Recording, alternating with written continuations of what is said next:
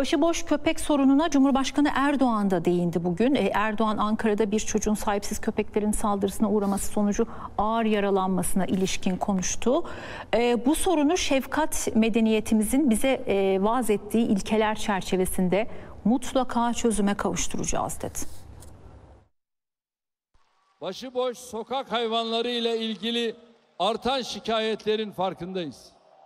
Önceki gün Ankara'da yaşan ve bir evladımızın ağır yaralandığı elim hadise hepimizin yüreğini dağlamıştır.